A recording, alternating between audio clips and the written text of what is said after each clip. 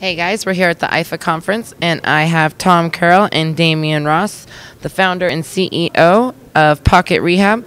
And today you've received an award for the top 50 healthcare leaders. Would you like to explain to us what led you to that award today? Yeah, so um, Pocket Rehab is an app, mobile application that helps people struggling with addiction and mental illness, and we've kind of been one of the leaders in the industry and with the biggest community. And uh, yeah, we're just kind of helping people get the treatment that they need and you know helping the community.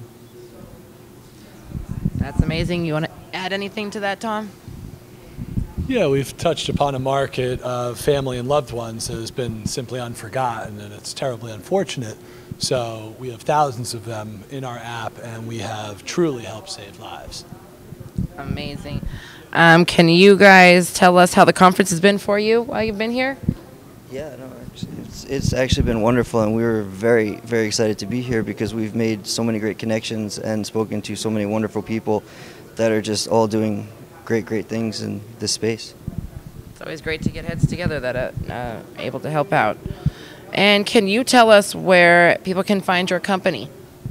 Sure. On social media, um, we are on Facebook and Instagram, Get Pocket Rehab.